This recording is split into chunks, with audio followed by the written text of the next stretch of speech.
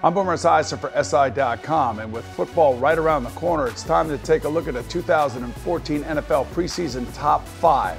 Number one, the Seattle Seahawks. Yeah, they've taken a hit, and yeah, they've had to pay some players, but you know what? They have a great defense. They're one of the fastest teams in the NFL, and just imagine what a full season of Percy Harvin is going to do for Russell Wilson. Russell Wilson struggled a little bit last year during the regular season, upped his game a little bit more in the playoffs and, of course, the Super Bowl. But it's been this defense, their speed, and with the addition of a healthy Percy Harvin for 16 games, they'll still be dangerous and impossible to beat in their home stadium. Number two, San Francisco. Still a rough and tumble team. I love their quarterback Colin Kaepernick signed a team-friendly deal which will allow them some flexibility to keep the parts around him. Their defense will still be one of the top two defenses in football, and Colin Kaepernick will continue to make plays. He is probably the most gifted playmaker in the NFL at the quarterback position, meaning that he can run, he can throw, and he's not intimidated. Look for them to have yet another great year, and I wouldn't be surprised if they overtook the Seattle Seahawks in their own division. Number three has to be the Denver Broncos. John Elway basically put all the chips in the middle of the table, signed three big free agents on defense, also adds Emmanuel Sanders to replace Eric Decker.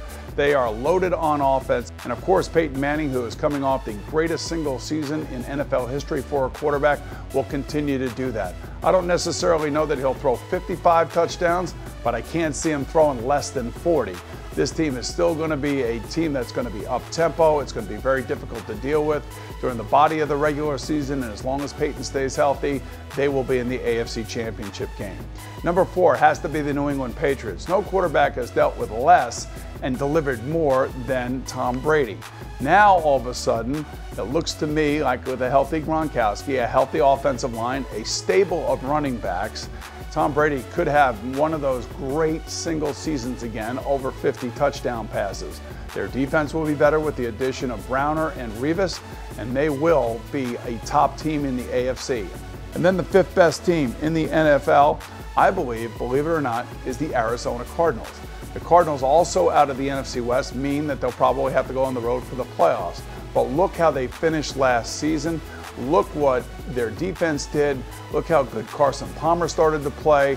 This is a team that has a lot of really good, solid young players, maybe the best secondary in all of football, a defensive line they can get after you. The problem for them is that they are in what I believe the toughest division in the NFL is, and that's the NFC West, because you know St. Louis is going to be vastly improved with a healthy Sam Bradford. So there are your top five. It's Seattle, San Francisco, Denver, New England, and Arizona of all teams. I'm Boomer Esiason.